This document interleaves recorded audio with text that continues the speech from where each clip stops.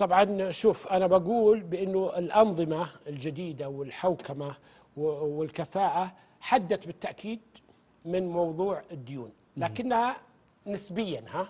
لكنها لم تلغيها.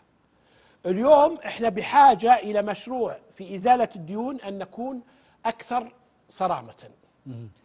أنا آه، طبعا آه، بتوقف عند نادي الأهلي تحديدا وبحط تحته يعني خطوط عريضة ومهمة وكبيرة. اليوم الأهلي يغرق في المكتب وفي كثير من الأحيان هذا الموسم يغرق أيضا في الملعب. ولا حتى وجود لكواليتي عالي على مستوى اللاعبين الأجانب اللي من الممكن إننا نقول إنهم سيساعدون الفريق في تحسين وضعه ومواصلة المشوار سواء على مستوى مسابقة كأس مولاي خادم الحرمين الشريفين الله يحفظه ويطول بعمره أو حتى على مستوى منافسة للدوري.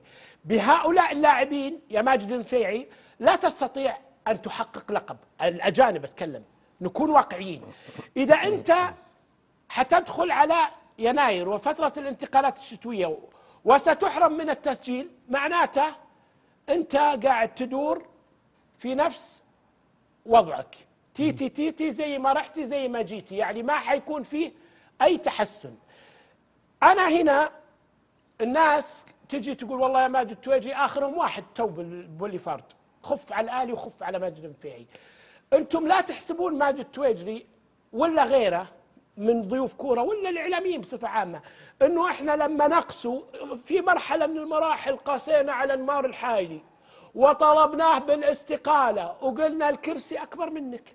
لما استطاع أن يقود انمار الحايلي العميد إلى وضعه الطبيعي يعود منافس أجانب على أعلى مستوى لاعبين محليين كل واحد يتقدم ويقدم لنا شكل جميل ومعظمهم موجودين في في المنتخب السعودي. الطبيعي أنت كويس؟ حنقول لك كويس. أنت ما أنت بكويس؟ حنقول لك ما أنت بكويس. هذا هو دور ماجد تويجري على طاولة كورة.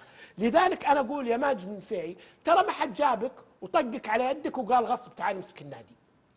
أوكي؟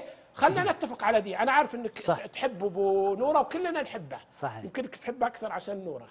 المهم سمية بنيتك الله يحفظهم جميعا. آمين. المهم اللي أنا أبغى أقوله إنه ما حد طقك على يدك قال تعال رأس النادي. أنت جيت أنا يجيني واحد زي الكابتن ولي علي قبل الهواء يقول لي يا ماجد هذه ديون متكرسة من قبل ماجد النفيعي أنت ما جيت على قولتهم مغمض وداخل النادي واحد قال لك ترى zero cost zero من الديون وتفاجأت إنه الخزينة مدخلة من الديون. وفي المقابل يا أبو نورة نشيد مثلا بصراحة.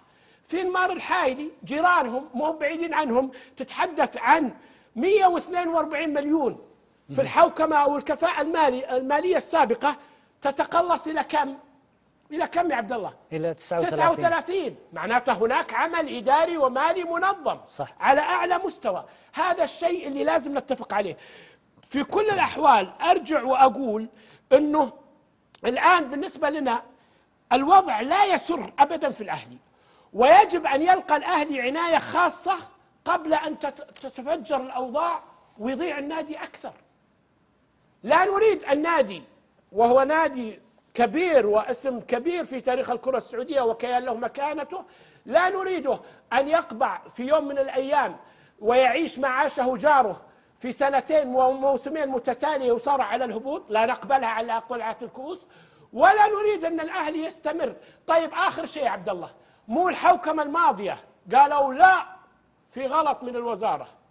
وسنقوم وصدروا بيان وكانوا حيلعبون بكرة في الديربي أمام الاتحاد. وصدروا بيان صحفي قال خاطبوا فيه الجمهور الاتحاد جمهور الأهلي عفوا والرأي العام والإعلام. قالوا فيه في خطأ من الوزارة وسنقوم غدا بإرسال وفد عشان نعلمهم إنهم غلطانين. جو قالوا لهم الوزارة لا والله أنتم اللي غلطانين. طيب إذا الوزارة غلطانة اليوم نبغى نسمع هل ننتظر من الأهلي بعد ساعات أيضا بيان يؤكد فيه إنه في غلط في ال في ال ال ال ال الإحصائية اللي ظهرت مؤخرا؟ فأنا والله